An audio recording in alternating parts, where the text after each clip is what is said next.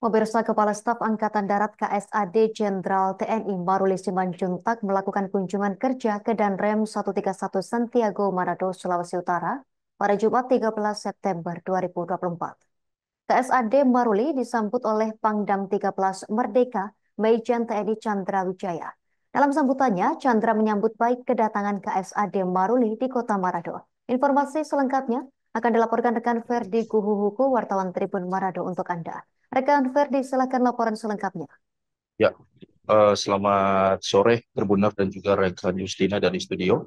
Uh, Tribunar seperti yang sudah disampaikan rekan Justina, tepatnya pada hari ini, uh, Kasat Angkatan Udara Jenderal uh, TNI Maruli Simanjuntak melakukan kunjungan kerja atau kunker ke uh, Manado dalam hal ini ke Korem 13 Merdeka di uh, Jalan Samratulangi Manado, Sulawesi Utara, di mana dalam kunjungan ini Tribuners uh, Maruli disambut oleh Pandam 13 yaitu uh, Pak Chandra Wijaya dan juga bersama prajurit yang lain. Dalam kunjungan ini Tribuners uh, selaku tuan rumah Pak Chandra menyampaikan tentunya sangat senang karena dikunjungi uh, Pak Kasat.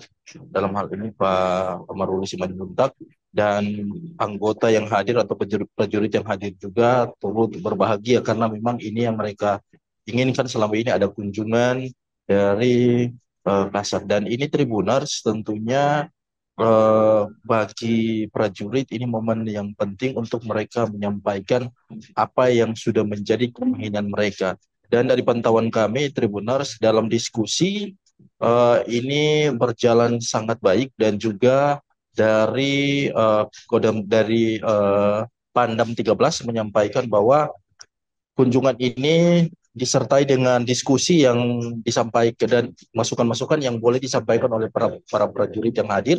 Dan ada diskusi-diskusi terbuka dan dari pantauan kami ada prajurit-prajurit yang mengusulkan berbagai usulan seperti uh, ada perbaikan asrama bagi para prajurit, ada juga eh, perbaikan-perbaikan uh, seperti tempat uh, tinggal sementara yang tempat di prajurit, bahkan ada juga prajurit yang meminta untuk di uh, apa dikirim ke luar negeri untuk melakukan uh, latihan bersama dengan prajurit yang ada di uh, luar negeri dan hal ini juga ditanggapi langsung oleh uh, Pak Maruli di mana ia akan mengumpulkan aspirasi dari para prajurit yang ada di Manado dan akan disampaikan. Dan ini tentunya masukan yang bagus ke depan dan uh, ini bertujuan untuk meningkatkan kualitas para prajurit yang ada di Indonesia terutama angkatan darat dan angkatan udara maksud kami. Dan uh, ini juga disambut baik oleh prajurit dan mereka berterima kasih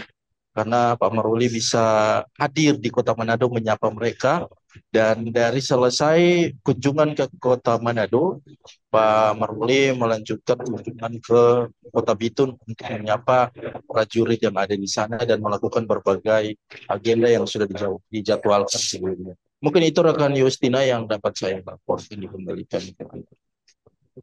Terima kasih rekan Ferdi Guhu, wartawan Tribun Manado atas informasi dari Anda. Selamat bertugas kembali. Download Tribun X sekarang. Menghadirkan lokal menjadi Indonesia.